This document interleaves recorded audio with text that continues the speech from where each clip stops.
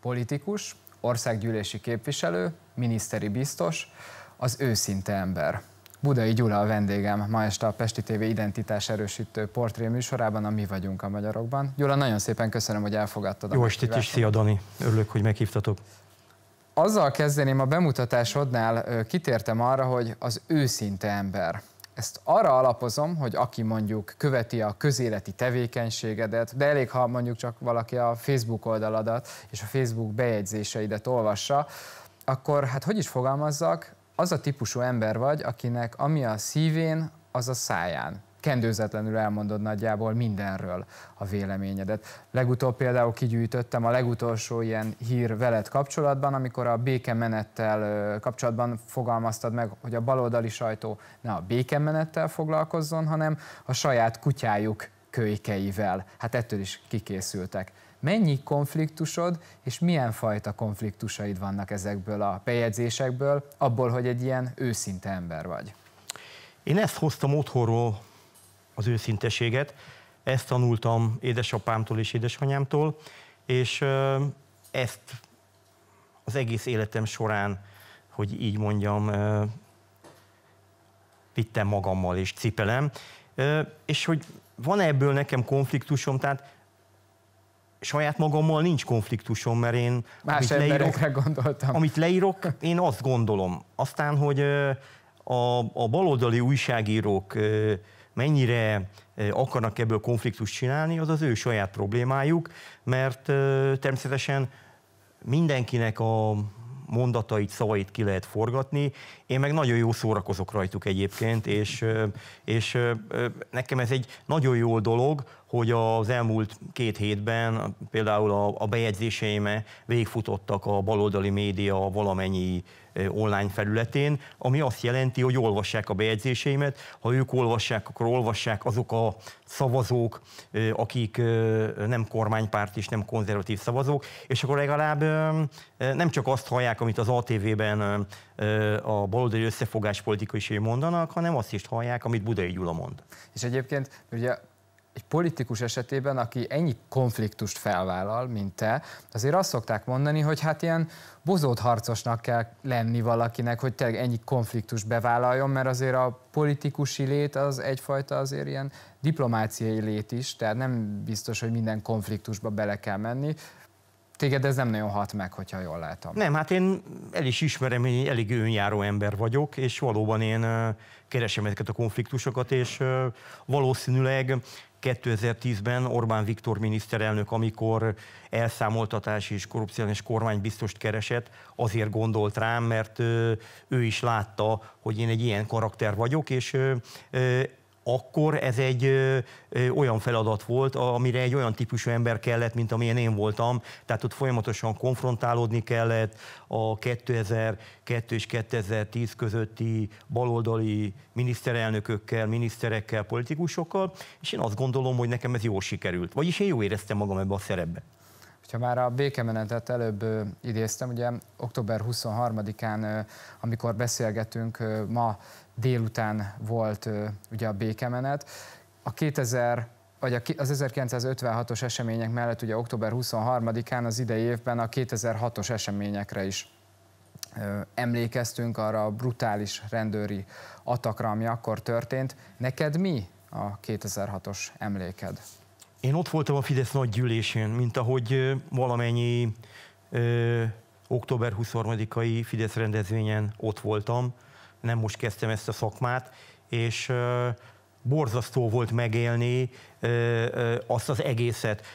Igazán azok a, a brutális képsorok, amelyek tőlünk távolabb történtek, a, a, a lovasroham, hogy rátolták a, a Fidesz nagygyűlésre a tüntetőket, a, a rendőrök szándékosan, a, a füst mindenhol, mert a füstöt azért láttuk, mi az Asztóriának a másik ö, részén voltunk, de a füstöt láttuk, óriási nagy hangzavar volt, és ö, lehetett sejteni, hogy valami borzasztó dolog történik, ami 1956. október 23-a óta nem jellemezte ezt a, ezt, a, ezt a forradalmi ünnepséget, ugye 90-től lehet ünnepelni október 23-át, és már akkor lehetett sejteni, hogy valami óriási nagy tragédia történik, és amikor hazamentem, és a tévébe jöttek a, jöttek a képsorok, majd mutatták Révész Máriuszt, és a, a, a földön fekvő, vérzőfejű embereket, akkor igazán én akkor döbbentem meg, hogy valójában mi is történt 2006. október 23-án. Borzasztó, így még visszaemlékezni is rá egyébként. Pont a, a csütörtök este az Elkurtuk című filmnek a premierjén ugye ezt az időszakot vissza idézte a mozi, láthatta az ember, és hogy tényleg, ahogy, ahogy így nézte az ember a filmet, és a, én akkor még gyerek voltam, vagy fiatal voltam, 16 éves, de hogy ezek a képsorok így megragadnak az embernek az agyába. Igen, borzasztó volt, és utána nekem volt egy kevésbé hálás feladatom is, ugye a, a, a Fidesz által létrehozott demokrácia központban én azon jogászok egyike voltam, akik a, a a 23-ai sérülteknek jogi segítséget, illetve ugye kártérítést indítottak sokan a, a magyar állam ellen, és mi ebben adtunk jogi segítséget. És én nagyon sok olyan emberrel találkoztam akkor a Demokrácia Központban, akik ugye azért fordultak oda, hogy, hogy segítsünk nekik, hogy milyen, milyen jogi lépéseket tehetnek, és, és borzasztó volt végighallgatni, hogy hogy elmesélték, hogy, hogy ők csak álltak, mondok egy példát, álltak ott egy kapuajba, és jöttek ilyen azonosító szám nélkülű rendőrök bukósisakba, pajzsal, és, és ütötték, verték őket, és ők nem csináltak semmit, csak ott álltak egyszerűen. Tehát, tehát borzasztó volt, és nem is tudták megnevezni, mert ugye nem tudta beazonosítani, hogy ki az, aki őt véresre verte. Tehát nagyon, nagyon megrázó volt még az utóhatása is ennek a dolognak, tehát nem csak maga október 23, hanem az azt követő több hónap, amikor ezekkel az emberekkel leültünk, beszélgettünk, próbáltunk egy tényállást megállapítani, hogy milyen alapon, milyen jogi alapon tudunk kártérítési eljárásokat kezdeményezni a magyar állammal szemben. Az nem volt egy egyszerű időszak akkor, ez, ez, ez, ez még, még most 2021. október 22-én is ez egy, ez egy borzasztó érzés erre visszagondolni, hogy ezekkel az emberekkel találkozni, leülni és elmesélik, hogy mi történt velük, hogy, hogy ők oda ünnepelni mentek, békés, békés tüntetők ezrei voltak ott, és hogy, hogy mi lett a vége. Hát sajnos ez egy nagyon szomorú nap volt. Beszéltünk már az igazság érzetedről, illetve arról, hogy egy őszinte ember vagy ez már gyerekkorodban is megvolt. Ugye 1963-ban születtél Békés Csabán. Ez, a, ez az igazságérzet, ez gyerekkorod óta dolgozik benned? Tehát már ott is dolgozott benned? Igen, én mindig, én mindig ilyen voltam, hogy amit, amit gondoltam, azt én, én, én kimondtam. Tehát én nem beszéltem félre, nem beszéltem mellé.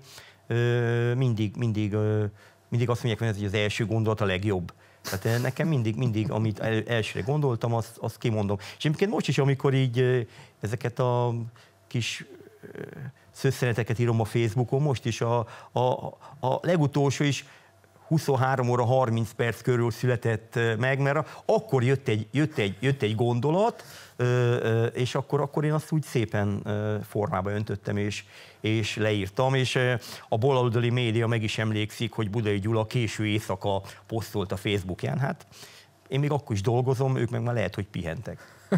és egyébként gyerekkorodban ebből hát akkor a konfliktusokat akkoriban azért bunyóval rendezte az ember, hogy voltak ebből ilyen konfliktusai? Igen, én, én gyereknek nagyon rossz gyerek voltam.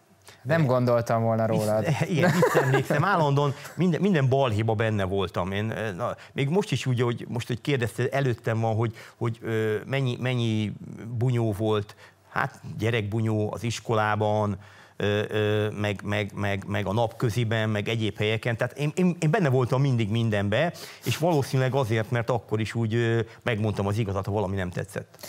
1987-ben végeztél az ELTE jogtudományi karán, és a katonai ügyészségen helyezkedtél el, ügyész lettél.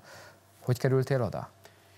Hát ez egy izgalmas kérdés. Ugye akkor még ö, teljesen másképp nézett ki a, a, a jogászi társadalom, a jogászvilág, mint most.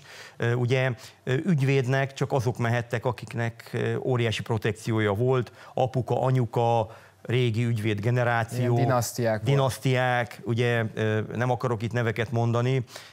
Pedig mondanál. Pedig, pedig mondanék szívesen, de ez most nem az őszintességnek a, a, a hogy így mondjam, a, a helye. De, de akkor nekem nem volt más lehetőségem, mint frissen végzett jogi diplomával rendelkezőnek, hogy a katonai ügyészségre menjek el, mert akkor ugye volt az ügyvéd társadalom, voltak a bíróságok, meg volt az ügyészség. Illetve voltak még jogtanácsosok, de az egyébként ugyan, ugyanolyanok voltak, mint, a, mint az ügyvédek. És nekem ez a, ez a lehetőség jött, és én, én erre nagyon büszke vagyok a mai napig, hogy, hogy katonai ügyészségi fogalmazóként kezdtem a, a jogi pályafutásomat, és majd katonai ügyészként dolgozhattam, és 1994-ben úgy gondoltam, hogy kipróbálom magam a, a civil életben, és egy volt évfolyam társam biztatására elmentem az ügyvédi irodájába, és akkor elkezdtem ügyvédkedni, addig, amíg 2010-ig parlamenti képviselő nem lettem. És emlékszel az első ügyedre, katonai ügyészként? Igen, ez egy, ez egy nagyon csúnya ügy volt.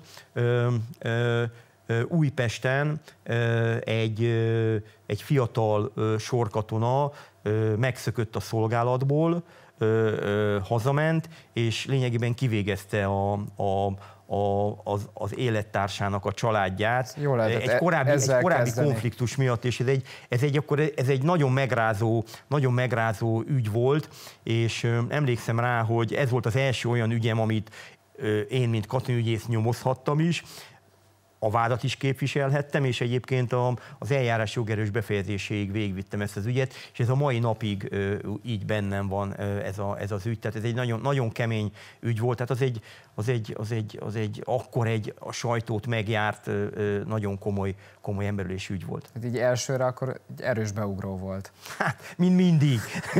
Tehát soha nem a kisfeladatokkal kezdtem, amióta politikus vagyok, a, mind, most is a, a, a, mindig, rám mindig a nehéz dolgot bízzák. És egyébként ugye 87-től voltál katonai ügyész, az így a rendszerváltás körüli előtti időszak, akkoriban azért még lehetett divatja az, hogy főleg ilyen pozícióban lévő embereket be akartak szervezni?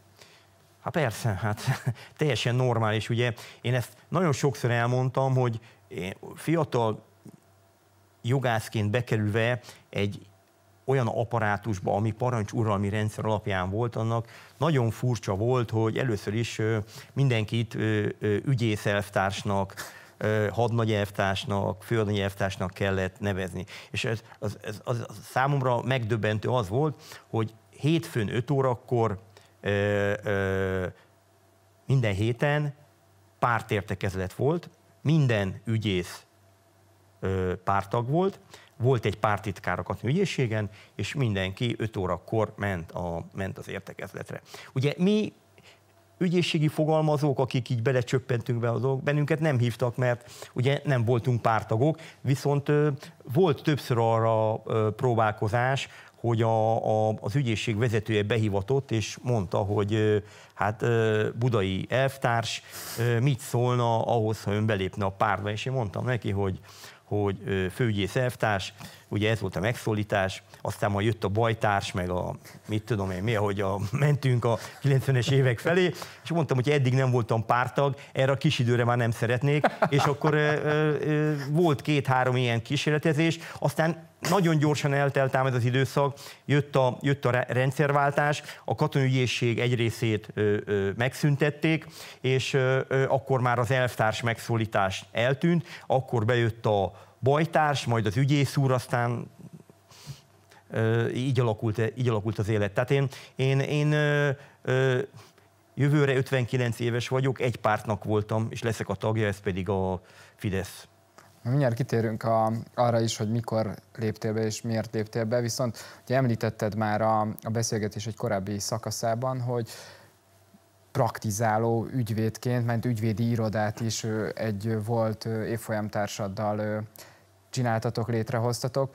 Na, az milyen tapasztalás volt, amikor kiszakadva ebből a katonai ügyészségi pozícióból a versenyszférában lényegében kipróbálni magadat? Ugye az a, az a, az a hős korszak volt, mert szerintem sokan nem tudják, hogy Magyarországon, ugye ahogy elmondtam, hogy a 90-es évig 1990-ig ügyvédi munkaközösségek voltak, és lehetetlen volt bejutni ezekbe az ügyvédi munkaközösségbe. Majd a rendszerváltást követően 1990-től bárki alanyi jogon ügyvéd lehetett, hát meg kellett felelni azoknak a kritériumoknak, amit a, a, a Budapesti Ügyvédi Kamara, amelynek én is tagja voltam, meghatározott, és ha megfeleltél, akkor kipróbálhattad magad a nagybetűs életben, a versenyszférában. Ugye nagyon, nagyon sokan választották ezt az utat, van akinek sikerült, van akinek kevésbé sikerült. Én, én azon szerencsések között vagyok, hogy elmondhatom, hogy nekem nagyon jó volt a váltás, sikerült egy nagyon jó ügyvédirodát felépítenem, és én, én, én, hogy úgy mondjam, sikeres ügyvédként tudtam 2010-ig praktizálni, majd aztán ugye országgyűlési képviselő lettem, és akkor már ügyvédként ezt a tevékenységet nem lehetett folytatni, mert a jogszabály ezt kizárta. És egyébként 97-ben, jó mondtad, hogy 97-ben léptél be a Fideszbe. Miért?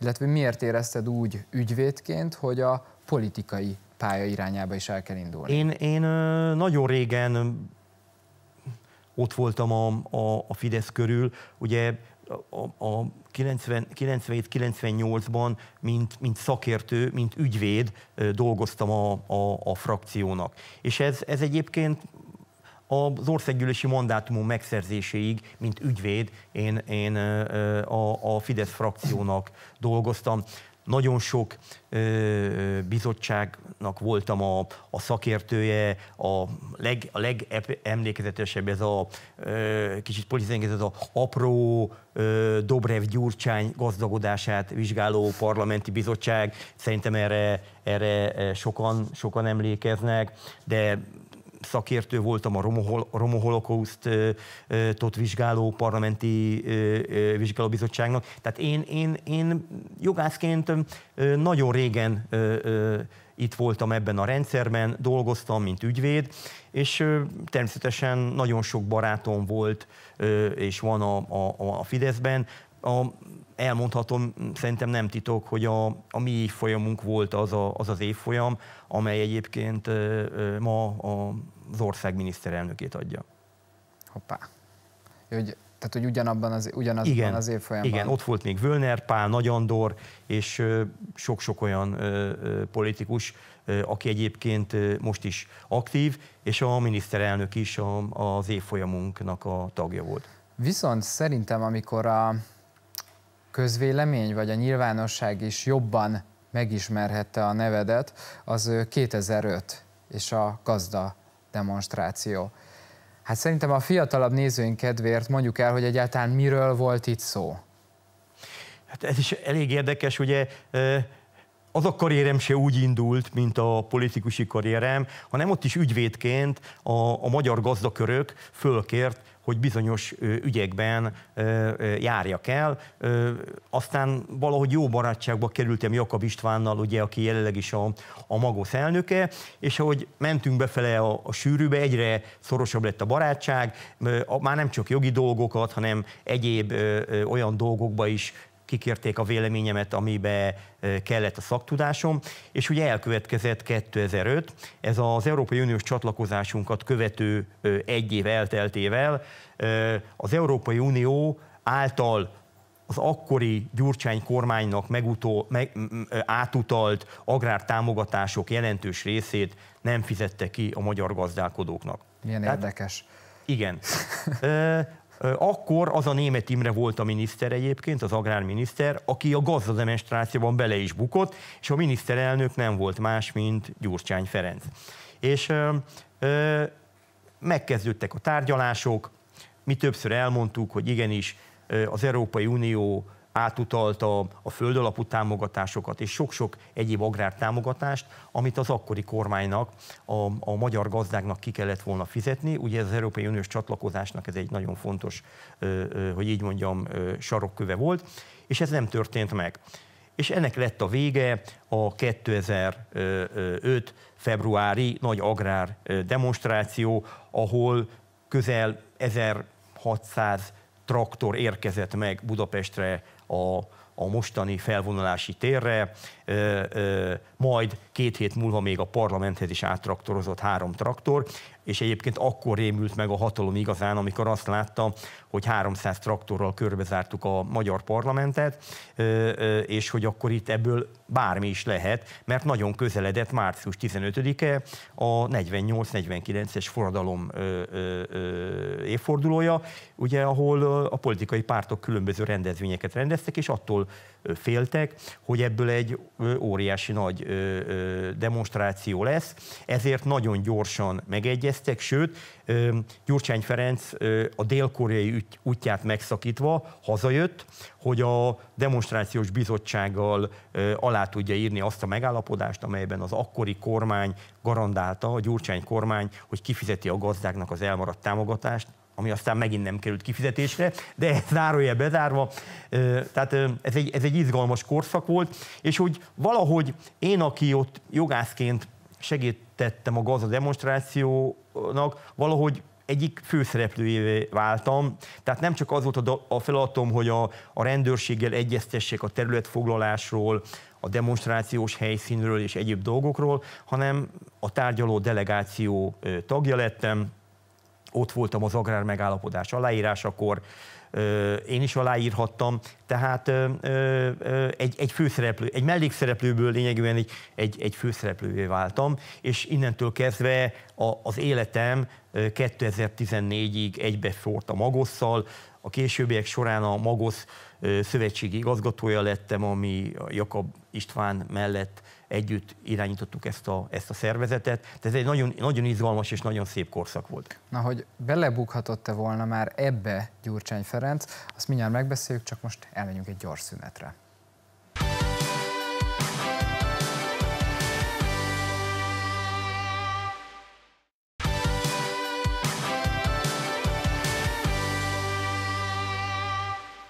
És ahogy ígértem, már itt is vagyunk ma este, Budai Gyulával beszélgetek. Ott fejeztük be a beszélgetést, hogy gazda demonstráció, amely hát akkoriban elég komoly vízhangot váltott ki. Ugye említetted, hogy 300 traktor körbefogta a parlamentet, és tényleg ilyen hát nagyon komoly tüntetés hangulat volt a fővárosban.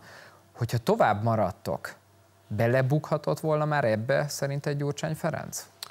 Szerintem az akkori közhangulatot ö, felidézve, hogy a, a, a gazda demonstrációból egy ilyen össznépi ö, ö, demonstráció lett Budapesten, ugye a felvonási téren emberek ezrei jöttek egész nap, jöttek a gazdáknak, ö, ö, élelmiszert hoztak, mindent hoztak, a gazdák főztek, tehát egy ilyen, egy, egy ilyen kvázi piknikből lett egy ilyen országos, hogy így mondjam, demonstráció, mert egyébként nem csak Budapesten demonstráltak a, a gazdák, hanem akik nem jöttek fel Budapestre, a nagy közutakon ott álltak kint több száz traktor, és ezek a traktorok bármikor megindulhattak volna Budapestre. És hogyha még néhány ezer traktor Budapestre jön, akkor a Gyurcsány kormány nagyon-nagyon megbukott volna. Pontosan ezért volt az, hogy március 13-án aláírtuk a parlamentben az agrár megállapodást a kormányjal, és ilyen még nem volt egyébként, hogy a kormány nevében Gyurcsány Ferenc írta alá. A, az agrár, ezt általában az agrárminiszterek szokták jegyezni, de Gyurcsány Ferenc írt alá, és ugye már mi akkor tudtuk, hogy Gyurcsány Ferenc Dél-Koreában tárgyalt, és egy nappal korábban hazajött, hogy 13-án velünk ezt talán írja, mert ha 14-én írja alá, akkor mi 15-én már nem mentünk volna haza, és szerintem akkor bármi bekövetkezhetett volna, és én ezt a mai napig mondom egyébként, hogy én, én, én, én akkor ö, azon ö, kisebbségi oldalon voltam, aki azt mondta, hogy ne írjuk alá a gyurcsányékkal az agrár megállapodást, maradjunk még itt, a pestiek ezt akarták, a vidék ezt akarta, és akkor lehetett volna másképp is csinálni ezt az egész dolgot, és akkor lehet, hogy 2006-ban nem a baloldali MSP, SDS nyeri újra a választásokat, hanem akkor már 2005 március 15-én megbukik az egész Gyurcsány rendszer. Tehát akkor akkoriban Gyurcsány eléggé félt, hogyha haza utazott ezért egy nappal korábban, tehát meg volt ijedve. Én nekem a mai napig a, a, a, a, előttem van, amikor az aláírást követően Jakab Istvánnal kezet fogott, és, és remegő kézzel ment oda Jakab István. Ugye Jakab Istvánt azért lehet ismerni, egy igazi gazda, jó nagy tenyere van, oda tette, és Gyurcsány szabályosan kirántotta a, a kezét Jakab István tenyeréből, és, és fogta magát, le, lecsapta az aláírt dossziét az asztalra, és ott valami oldalajtón kirohant a, abból a, a, a teremből, ahol ez az aláírás volt. Tehát látszott, látszott, látszott rajtuk, hogy, hogy óriási zavarodottság van, nem tudnak mit kezdeni velünk, és valóban attól tartottak, hogyha ezek a gazdák itt maradnak, meg még a többiek főjönnek Budapestre, akkor ez a rendszer tarthatatlanná válik. Na, ugorjunk egy nagyobbat, 2010 országgyűlési képviselőnek választanak. Engem az érdekelne, hogy 2010-ben azért már ügyvédként is, katonai ügyészként, politikával foglalkozó, jogi tanácsadóként milyen érzés volt, amikor parlamenti képviselőként először léphettél be az országházba?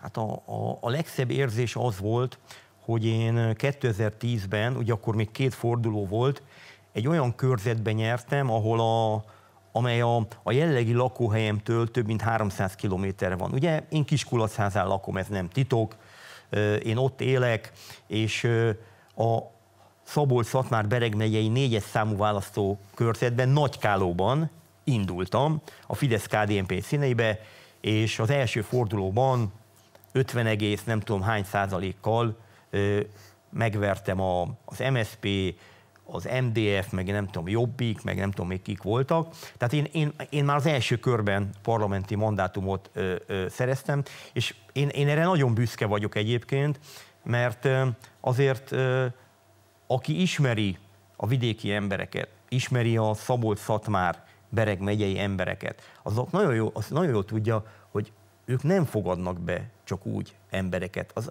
tehát én, nekem, nekem másfél év alatt sikerült elhitetni velük, hogy én értük dolgozom, én, én azért vagyok itt, hogy őket képviseljem, és nekem, nekem ez, egy, egy, ez, ez óriási nagy, hogy így mondjam, büszkeség és elégtétel az életemben, hogy, hogy egy idegen környezetben sikerült országgyűlési mandátumot szereznem 2010-ben.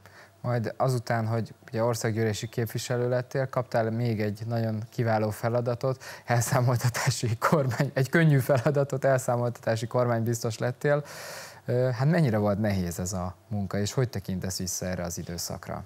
Megint csak azt mondom, hogy a miniszterelnök úr az ismerte az én habitusomat, és tudta, hogy én milyen ember vagyok, tudta, hogy, hogy én, én úgy a magam, a magam útját járom, és én, én megyek, a, megyek a magam feje után, és akkor erre a pozícióra egy olyan ember kellett, aki a falun is átmegy. És ez voltam én, aki, akinek a, a Megyesi Gyurcsány Bajnai kormány időszakában keletkezett korrupciógyanús vagy korrupciós ügyeit kellett kivizsgálnom, és igenis a Fidesznek volt egy választási ígérete, az elszámoltatás, és én azt gondolom, hogy ezt a feladatot az alatt a két év alatt, amíg ezt a pozíciót betöltöttem, sikeresen megoldottam.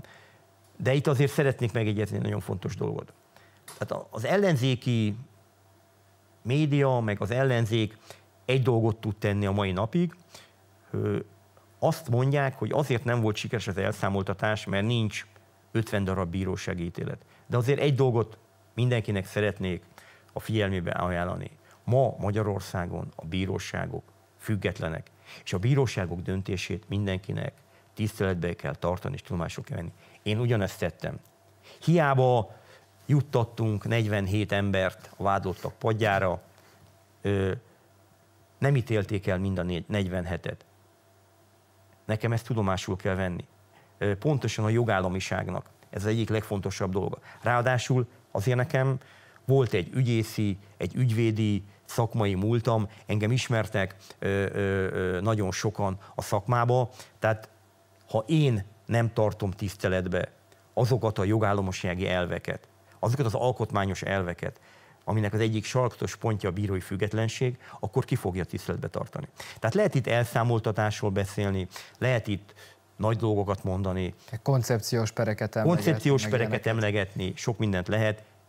A realitás az, hogy a bíróságok függetlenek, és a bíróság döntését mindenkinek tudomásul kell venni. Azért ettől függetlenül büszkén tudom elmondani, hogy Gyurcsány Ferencből csak sikerült gyanúsítottat csinálnom a sukorételek ügyben, a kaszinó bizniszben, az egy teljesen más dolog, és nekem azt is tiszteletbe kell tartanom, hogy az ügyészség úgy foglalt állást, hogy a gyanúsításhoz elegendő bizonyíték van, de hát a vádemeléshez nincs. Persze, én biztos, hogy vádat emeltem volna Gyurcsány Ferenccel szemben, és mindig elmondom, hogy a, ennek a két évnek a, a legnagyobb mínusza az, hogy Gyurcsány Ferenc nem ült a vádottak padján, de ült helyette Tátrai, Császi és még sokan mások. 2014-től már a külgazdasági és külügyminisztériumnak vagy a miniszteri biztosa. Engem kulisszatitkok érdekelnek. A folyamatosan visszatérő kérdés bennem, hogy Szijjártó Péter tempóját hogy lehet bírni? Szeretnék elmesélni egy történetet. ez, na, ez, erre irányult a kérdés. Ugye én elmondtam, hogy én 97-98-tól a Fidesz frakció mellett dolgoztam ügyvédként, jogi szakértőként. A, az elvesztett 2002-es választásokat követően a Fidesz frakció vezetője Áder János, köztársasági elnök úr lett, ugye köztársasági elnök. Egy este már hazaértem a munkából, csöng a telefonom, fölveszem, Áder János vagyok, azon a tipikus mély hangján. Hát én jól ismertem a, a, a Jánost, de mégis összerezzentem. És a következőt mondta, nem sokára fog keresni egy fiatalember, úgy hívják, hogy Szijjártó Péter, elmondja, hogy mit akar, ez 2002-ben volt, segítsél neki, legyél mellette, adjál neki jogi tanácsokat, dolgozatok együtt. Na ekkor kezdődött az én barátságom és munkám Szijjártó Péter külgazdaság és külügyminiszterrel, és tart a mai napig, 2021-ig, ugyanúgy együtt dolgozunk. Ugye 2014-ben, amikor miniszter lett, megkeresett, és azt mondta, hogy dolgoznék-e vele. Természetesen azonnal igen mondtam, hát örömmel, hiszen 2002 óta együtt dolgozunk. Ugye ő volt, aki beleállt a Balatonba, Balatonöszödnél, ő volt, aki levitte a bizottsági ülést Mosó Magyarorvára a Motin parkolójába, de fölvertünk egy sátrat, és ott volt a, a bizottsági ülés, és sok-sok minden ő volt, emlékszünk rá. És én, én őt jól ismertem, ismertem a tempóját, ismertem a habitusát, tudom milyen ember, és nekem nem volt nehéz 2014-ben fölvenni ezt a ritmust. És egykor ez egyébként azt is jelenti, hogy, hogy Szijjártó Péter rengeteget utazik, hogy ö, amikor lehetőséged van, te is kíséred ezekre az utakra, vagy olyan út van, amely a munkát szempontjából neked is fontos. Természetesen az én munkám a külügyminisztériumban a, a külső piacok koordinálása. Ez egy nagyon fontos dolog a külgazdaságban, ez egy nagyon-nagyon-nagyon, hogy így mondjam, sarkalatos kérdés. Hogy, ugye indultunk az orosz embargótól, majd onnan eljutottunk a, a külső piacok koordinálásáig, úgyhogy az orosz embargó is lényegében beleolvadt ebbe a feladatkörbe. Ráadásul mondhatom azt, hogy most majdnem ezzel kapcsolatban mindent ö, ö, ö, én, én végzek, és természetesen azokra az utakra, amikor a, az én feladatköröm találkozott ö, azzal az elképzeléssel, hogy nekem ott kell lenni, akkor én kísértem a, a külügyminiszter urat. Melyik az a találkozás, vagy utazás, vagy bárhogy fogalmazhatunk, amely ilyen, ami ilyen örök emlék számodra, amit a gyerekeidnek is mesélsz, hogy hát én találkoztam azzal a politikussal, meg azzal, ha van ilyen. Igen, erre, erre mindig büszke vagyok, sőt az irodám falán ott is van az a kép, amire nagyon büszke vagyok. Ugye ez az Orbán-Trump találkozó volt, amikor a, a, a Fehérházban hosszú-hosszú évtizedek után az amerikai elnök fogadta a magyar miniszterelnököt, és én abban a szerencsés helyzetbe voltam, vagy kerültem, hogy tagja lehettem annak a delegációnak, amely a, a, a Fehérházban a, a, az amerikai elnök és a magyar elnök ö, találkozása során ö, ö, ott lehetett. És abban is szerencsés helyzetben voltam, ugye, mert ilyenkor a, a, a, a protokoll az, hogy a delegációkat bemutatják az elnököknek, ugye a, a, a magyar miniszterelnöknek bemutatták az amerikai delegációt, Trump elnöknek meg bemutatták a magyar delegációt, és kezet foghattam, és kaptam egy hátba verést. Nem volt gyenge, de hát... Trump ilyen. Igen, jól esett. Ö, ö, meglep, meglepően magas ember egyébként, tehát a képeken nem mindig jön, és tehát jó, jó fizikumban van. Kaptam egy, egy készfogást, meg egy hátba veregetést, tehát ez, ez szerintem aki eljut a, eljut a Fehérházba, és, és láthatja azokat a helyiségeket, ami egy-egy ilyen hollywoodi filmben megjelennek, az szerintem az egy, az egy örök életre ö, ö, benne marad. Készült egy nagyon jó fotó, pont a, pont a delegáció bemutatásáról, rajta van a, a miniszterelnök, rajta van Trump elnök, rajta van a mi delegációnk, és az a irodámnak a falán kint van, és ez nekem, amíg élek egy... Akkor ez az örök emlék. Ez az örök emlék.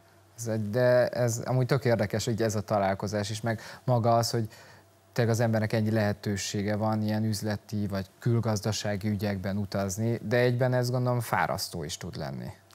Hát a külügyminiszter úr tempóját, ö, ö, aki ismeri, ez, ez borzasztó. Tehát én, én ö, olyan jókat szórakozok, amikor itt az ellenzéki újságírók, már megint az ellenzéki újságírókat bántom, de hát de ez tőled megszokott, így van. csak hozni kell. Így van, így van, de igyekszem, igyekszem kultúráltan fogalmazni, amikor különböző kritikával illetik a külügyminisztert, hogy egyik nap itt van, másik nap ott van, harmadik nap ott van.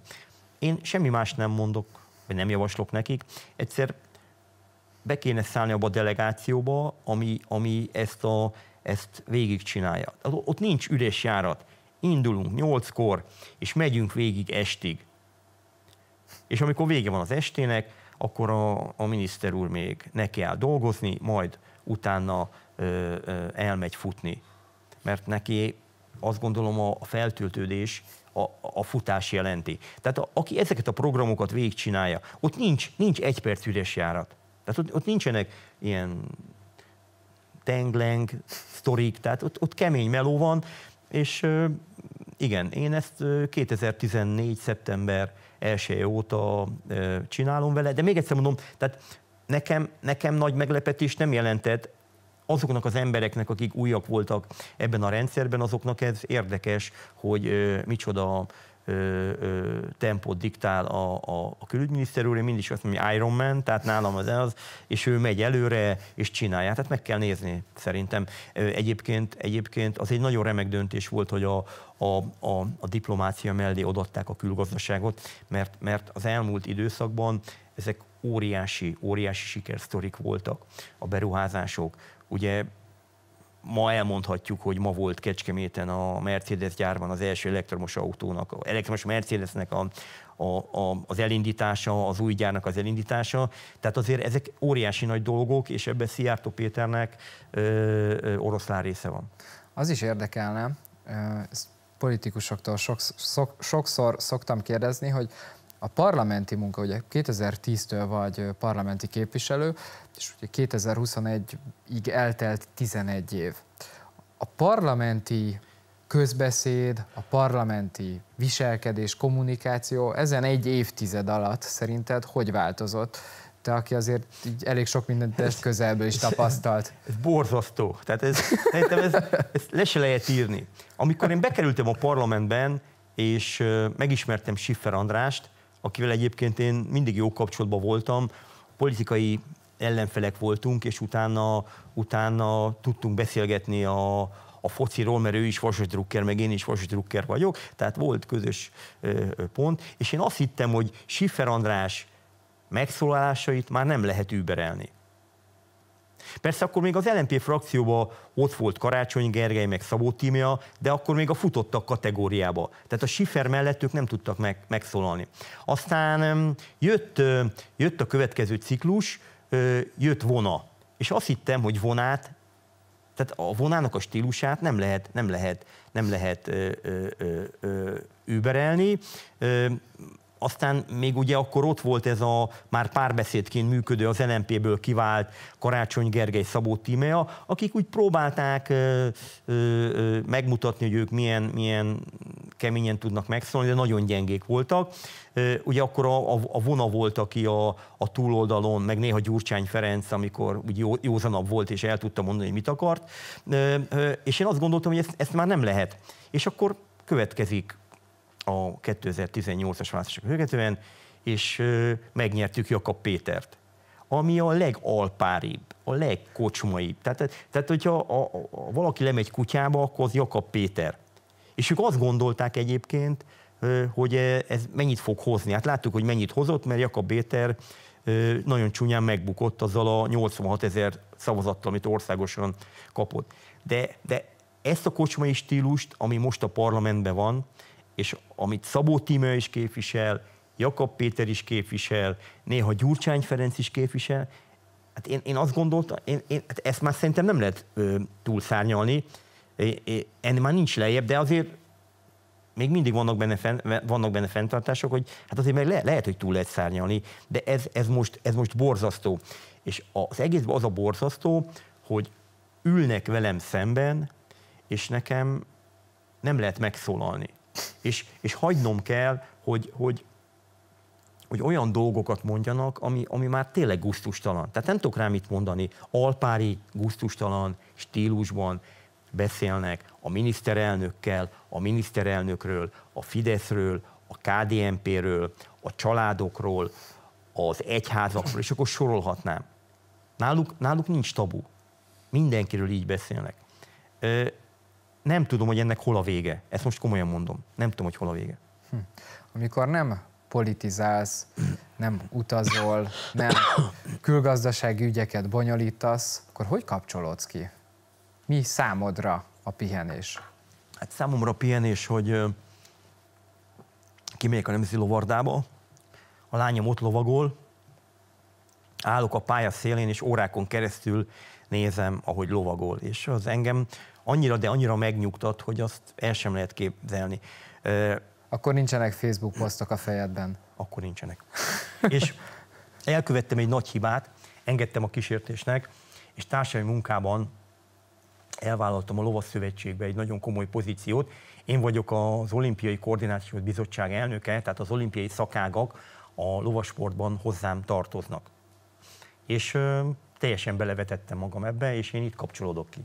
És egyébként a, a lovaglás szeretete, az, az honnan jön? Tehát az már a, a lányod irányából érkezett, vagy az már ugyanúgy fiatal gyerekkor? Én, én, én mindig szerettem ezt a sportágat, és én, én szerettem a lovakat. Egyébként én is egy picit tudok lovagolni, de én inkább a fogathajtás nagy szerelmese vagyok.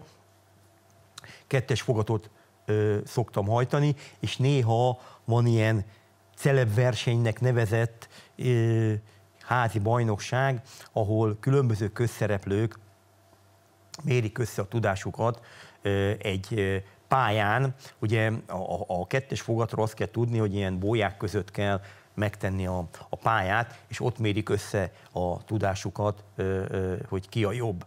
Hát de szerintem, te Dani emlékszel amikor a Fekete Győrt kihívtam egy kettes fogatra, mert ő meg úgy, engem várt a Margit szigeten, hogy úgy, fussam le vele a szigetkör. Úgy emlékszem, nem ment el. Nem jött el, nem jött el, pedig én nagyon vártam a Nemzeti Lovardába. Most meg már tök mindegy, hogy várom vagy nem várom, mert a legnagyobbat ő bukott, a Momentum 3%-ot ért el az előválasztásokon, és Fekete Győr az úgy eltűnt a sülyeztőbe, hogy elő van írva. Tehát most már nincs is értelme, hogy szigetkört fussunk meg, hogy kettes fogatot hajtsunk.